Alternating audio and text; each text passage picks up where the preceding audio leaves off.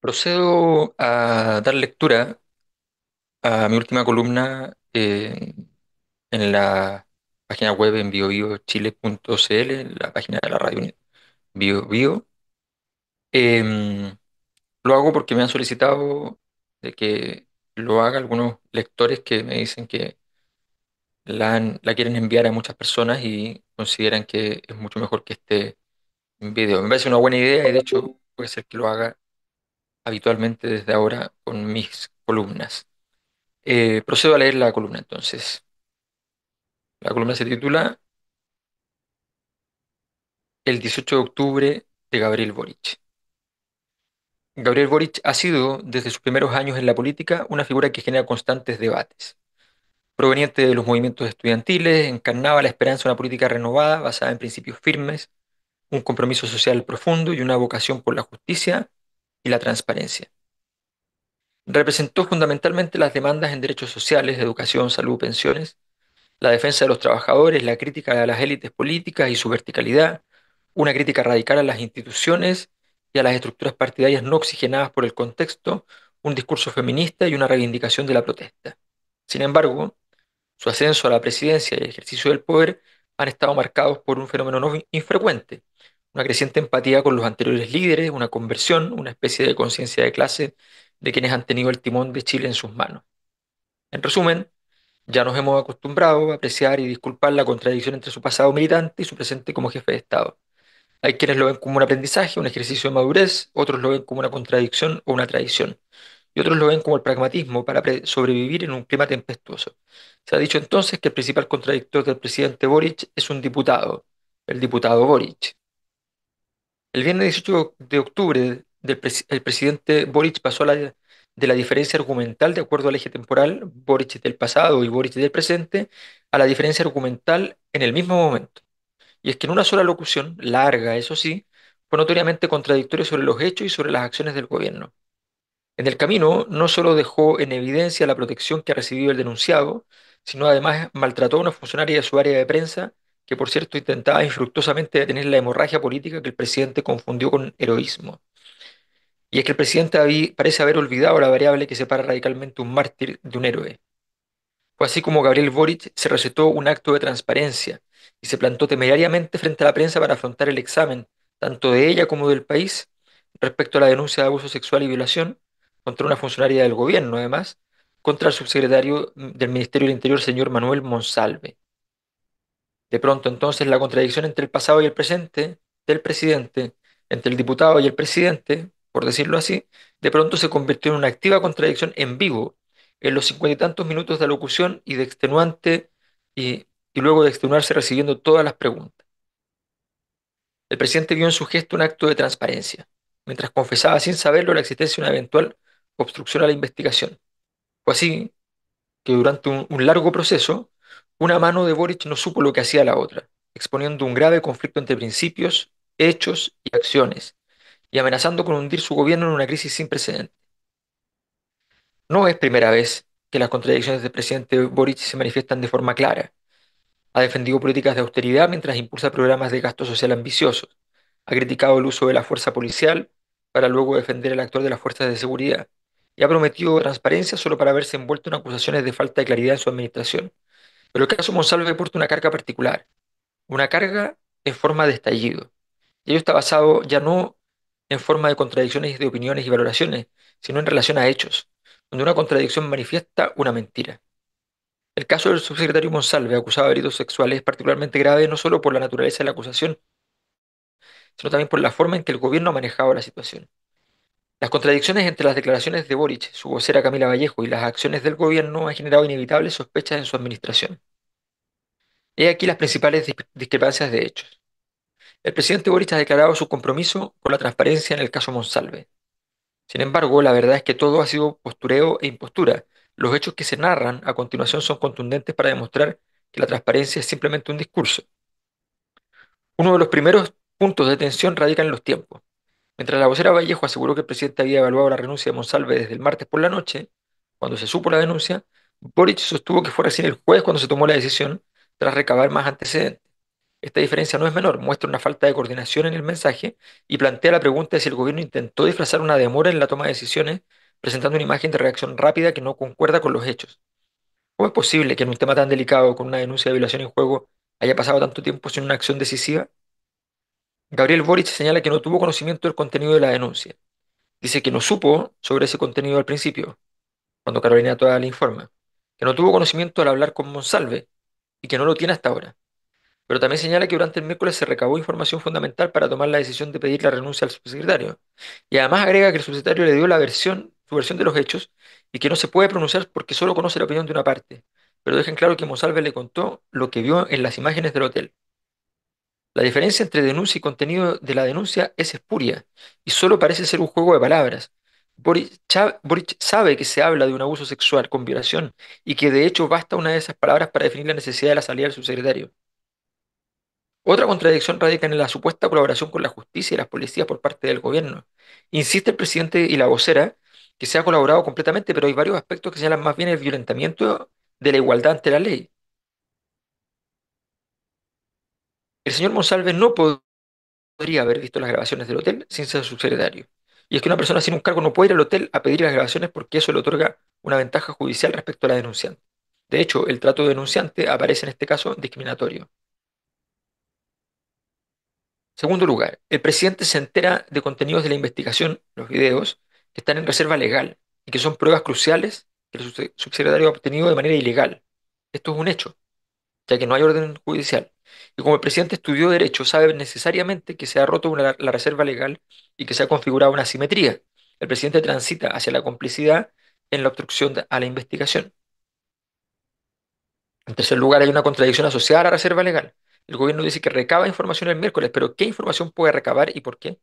El gobierno no tiene derecho a conocer la investigación y descuida sus recaudos indispensables, ya que ambos funcionarios involucrados son del gobierno y por tanto cualquier inter- intervención es inapropiada. Esto implicaba algo simple, y es que el martes el presidente ya sabía la gravedad de los hechos, que no se pudo, no se pudo recabar legal- legalmente nada nuevo y que simplemente se tardó en tomar la decisión de, o en comunicarla. Otra arista de la contradicción respecto a las cámaras de seguridad del hotel es la siguiente. Gabriel Boric admitió que Monsalve accedió a las grabaciones, pero tanto el presidente como la vocera Vallejo minimizaron el hecho, afirmando que formaba parte de la investigación. Sin embargo, el acceso a pruebas sin una orden formal y utilizando su cargo es a todas luces un abuso de poder que podría ser visto como obstrucción a la investigación. El gobierno, lejos de tratar esto como falta grave, intentó justificar la acción de Monsalve, lo que evidencia una, una tolerancia inaceptable hacia conductas que podrían influir en el curso de la investigación. Otra contradicción radica en el uso de recursos públicos. Monsalve, pese a la gravedad de la acusación en su contra, utilizó un avión gubernamental para viajar a ver a su familia, lo que fue presentado como una acción menor en las declaraciones de gobierno. Aquí se abre otro punto crítico, el uso indebido de bienes del Estado en un contexto personal que debería haber sido tratado con mayor severidad. ¿Por qué el gobierno permitió que Monsalve siguiera usando recursos oficiales mientras estaba bajo una investigación tan grave? Vamos a otra contradicción. La tesis de, de que la decisión de solicitar la renuncia a Manuel Monsalve estaba tomada desde el miércoles es obscenamente contradictoria con la realidad. La visita del secretario al Congreso Nacional, dando una impresión de falsa normalidad, terminó con un desastre, pues los congresistas se enteraron por la prensa de la situación mientras estaban trabajando en el Ministerio con el Ministerio de Interior en el Congreso. Los hechos no revelan una voluntad de retirar el, del cargo al subsecretario. Todo parece indicar que se buscaba ganar tiempo. ¿Para qué? Difícil saberlo, aunque es necesario investigar las referencias que se han hecho a propuestas de mejoras económicas a la funcionaria que pueden ser una peligrosa señal de compra de silencio. También es posible que el gobierno haya intentado esperar un tiempo para hasta pasar las elecciones, ya que el caso Hermosilla está causando estragos en la derecha y esta crisis podría bloquear la recuperación de la izquierda. Otra contradicción, ya vamos en ocho. El gobierno señala estar cumpliendo protocolos, pero no sabemos cuáles. Y en cualquier caso, no se puede deducir de los actos de gobierno un cierto orden que revele la existencia y observancia de protocolos. Última contradicción, novena. La última contradicción flagrante es con el feminismo. La conducta de la ministra Orellana con otras denuncias de violencia machista o abuso sexual no ha sido en absoluto equivalente. Su bajo perfil y su falta de asertividad en las declaraciones ha llamado la atención, pues es la misma ministra que consideró que rumores de posibles denuncias fueran suficientes para exigir que Felipe Berríos no asumiera el cargo que le habían ofrecido sobre las problemáticas de los campamentos en Chile. Estas contradicciones en los hechos reflejan un manejo caótico de la situación y una falta de control por parte del gobierno, donde la defensa de Monsalve pareció estar por encima del respeto a las víctimas y del cumplimiento de los protocolos judiciales. A todo esto se suman los principales violentados, el feminismo de Boric que ha puesto a prueba, y es que una de las promesas fundamentales de la administración de Boric ha sido el compromiso con los derechos de las mujeres y la perspectiva de género.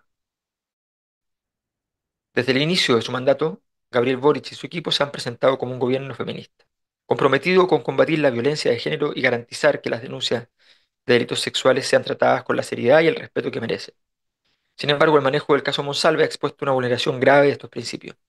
El hecho de que Monsalve permaneciera en su cargo por más de 48 horas tras la denuncia y que incluso continuara representando al gobierno en el Congreso desdibuja completamente el discurso feminista del gobierno. Ante una acusación de violación, la reacción inmediata del gobierno debería haber sido separar a Monsalve de su cargo para evitar cualquier interferencia en la investigación y sobre todo para enviar un mensaje claro de que en su administración no hay lugar para la impunidad en casos de violencia sexual. En lugar de eso, el gobierno permitió que Monsalve continuara ejerciendo sus funciones, lo que representa una falta de coherencia con los principios que Boric ha defendido. Peor aún, la narrativa del, del gobierno sobre la necesidad de recabar más antecedentes antes de tomar una decisión contradice completamente la promesa de poner a las víctimas en el centro. La idea de que una denuncia de violación pueda ser tratada con cautela mientras el acusado sigue en su puesto y mientras la posible víctima está con licencia médica y no puede intervenir en el escenario laboral, revela una desconexión con el compromiso feminista que el gobierno proclama. Aquí no solo se han violentado principios, sino que se ha comprometido la credibilidad de la administración en su lucha contra la violencia de género.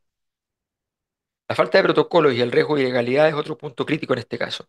Boric y Vallejo insistieron en que el gobierno actuó conforme a la ley, pero los hechos indican lo contrario.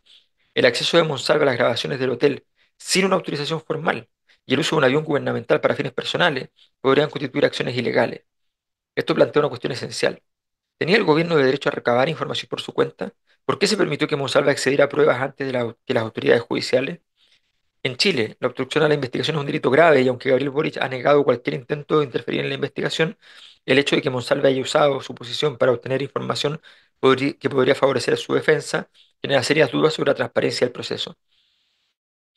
Además, si se demuestra que Boric tenía conocimiento de, estas acciones y no actuó para detenerlas, podría estar implicado en una omisión de denuncia, lo que podría ser motivo suficiente para una acusación constitucional.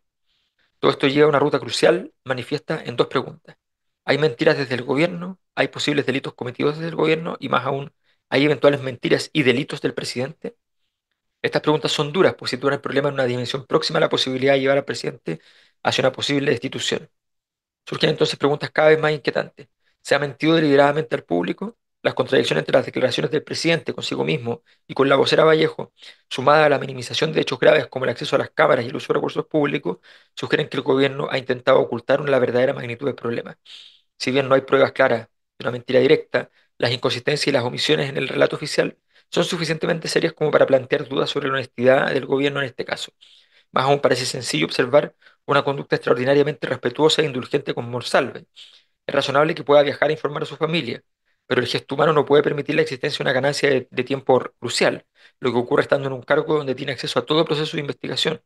Se le podría haber suspendido funciones hasta su renuncia, atendiendo a un gesto humano que incluso es discutible. Lo concreto es que Monsalve parece haber sido protegido, pues la suma de factores conduce necesariamente en esa dirección. Pero más allá de las mentiras o las contradicciones, el riesgo más grave para Boric es el de una posible destitución. Si se demuestra que el gobierno no solo actuó de manera errática, sino que incurrió en ilegalidades, ya sea por obstrucción a la investigación, uso indebido de recursos públicos o por una omisión de denuncia, el camino hacia una acusación constitucional podría estar allanado. El presidente Gabriel Boric, quien llegó al poder con la promesa de un cambio radical y de una política basada en principios, encuentra a su gobierno borrando con el codo lo que escribió con la mano. En muchos casos en que esto ha ocurrido, el presidente ha sido aplaudido por sus detractores de la oposición. Su cambio ha sido visto como una evolución o una claudicación razonable. Pero en este caso, ha caído allí donde brotaba su alimento, la moral, y aparece como esas élites vetustas que tapan el sol con un dedo. Todo parece indicar que entre el martes y el jueves el presidente necesitó un oasis, un espacio de calma, un analgésico antes de los dolores venideros. Ese día no habló de Monsalve e incluso dejó que el subsecretario volviera a trabajar. Pero llegó el 18 de octubre y sus propias palabras han puesto al presidente Gabriel Boric en jaque. Los nuevos líderes han caído en la misma fecha que otros que otrora cayeran los viejos líderes. Otra vez, un 18 de octubre. Otra vez, las palabras son un enemigo poderoso e implacable en el Palacio de Gobierno.